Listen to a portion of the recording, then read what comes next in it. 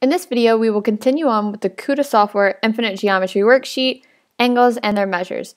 I've already done the first half of this worksheet, numbers 1 through 10, and in this video, I'll do the second half, numbers 11 through 18.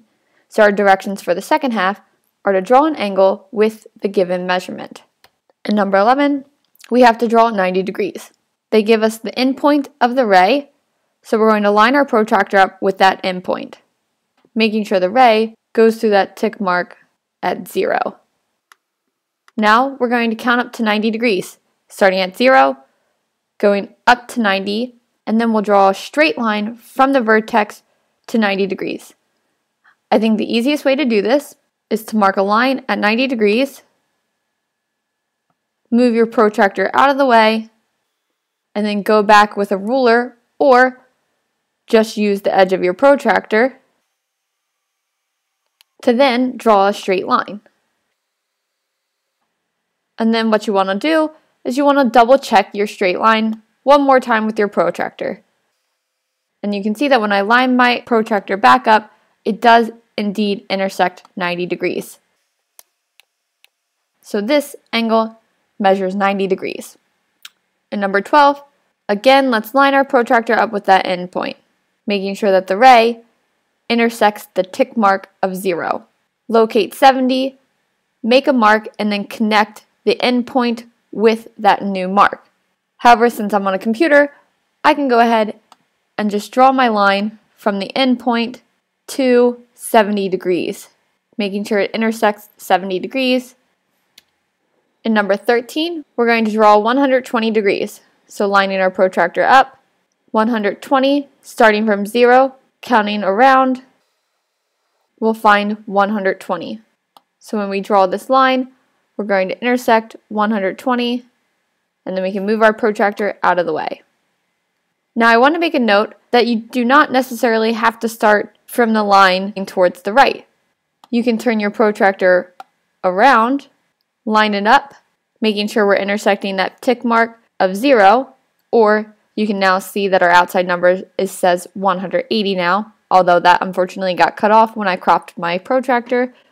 So we're going to use the inside number of 0 and count up to 120.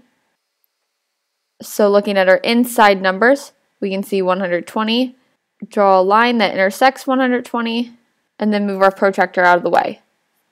This angle also represents 120 degrees. In number 14, we're asked to draw 105 degrees.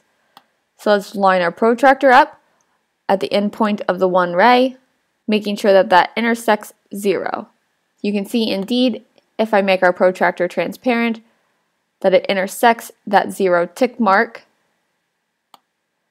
So now I'm going to locate 105 degrees and draw a straight line.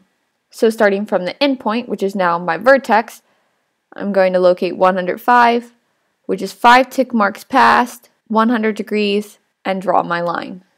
105 degrees. On to number 15, we're drawing 31 degrees. So we're lining our protractor up, making sure it intersects 0, and I know that 31 is 1 past 30, so I'm locating 30 and drawing my line from my endpoint, which is now my vertex, to 31, making sure it intersects that first tick mark past 30. 31 degrees. Number 16, I'm drawing 166 degrees. So I'm lining my protractor up, making sure that that vertex or that endpoint is centered on the bottom line of my protractor and that the ray intersects that zero tick mark. And then I'm drawing a line that intersects 166. Six tick marks past 160 or you can think of this as four tick marks before 170, 166. On to number 17, lining our protractor up, marking where 144 degrees is, and then removing our protractor and using a straight edge, but since I'm on a computer, I can start from that endpoint and draw my line to 144. 144 degrees. And lastly, we have to mark 53 degrees. So lining our protractor up, I'm going to locate 53 degrees, and draw a straight line from my endpoint, which is now my vertex, to 53, which is three tick marks past 50 degrees. And here you can see 53 degrees.